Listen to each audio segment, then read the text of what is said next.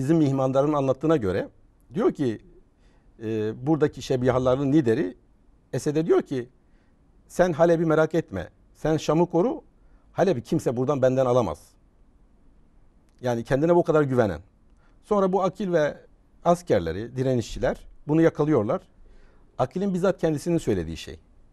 Biz Şebihan'ın liderini yakaladığımızda İngiltere, Hollanda, Amerika, Suudi Arabistan, İran milyon dolarlar teklif ettiler serbest bırakmamız için.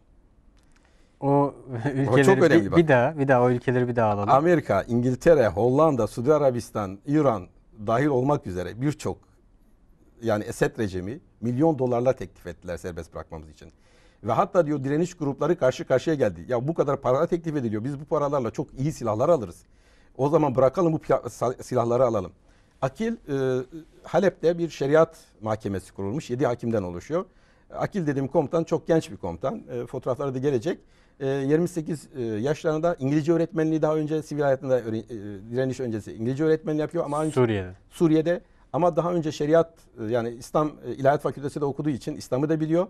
E, hem İngilizce hem e, ilahiyat okumuş. Onun için o şeriat mahkemelerinin üyelerinden birisi de o. Diyor ki biz hemen yargıladık. İdamına karar verdik ve hemen infaz ettik. Baktık ki eğer bunu yapmasak direniş grupları birbirine girecek bu meblağlar üzerinde.